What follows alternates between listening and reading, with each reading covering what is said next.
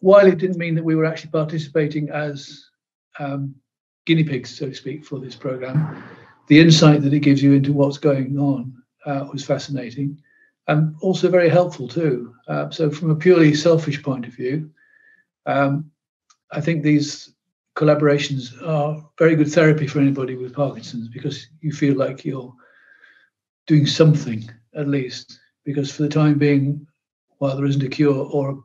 therapy that puts things absolutely back on the straight and narrow, you have to find your find your help and assistance from the experts and find it within yourself as well to sort of make yourself feel like it's worth going on.